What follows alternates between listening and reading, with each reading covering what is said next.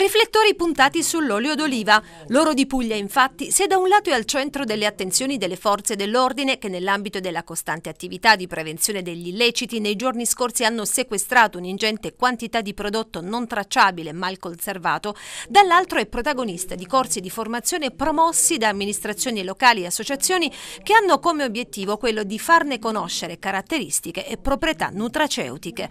A San Pancrazio Salentino, Sala Gremita, in occasione di un incontro organizzato organizzato dal Comune in collaborazione con l'associazione Macchia Salva, una lezione con nozioni teoriche e degustazione tenuta dal perito agrario Antonio Mancino. Saper leggere un'etichetta ti dà un, diciamo, un indirizzo per una sana e corretta alimentazione. Come si fa a capire quando un olio è buono? Ecco, è un, una regola molto semplice, tutti quegli oli che hanno quell'odore di frutta è, è amaro e piccante è già un, un indizio di buona qualità. L'olio è importante perché comunque comunque un, un alimento salubre per la nostra alimentazione mediterranea, però bisogna stare attenti alle, alle, frodi perché in questo mondo è pieno di persone che frodano eh, il consumatore.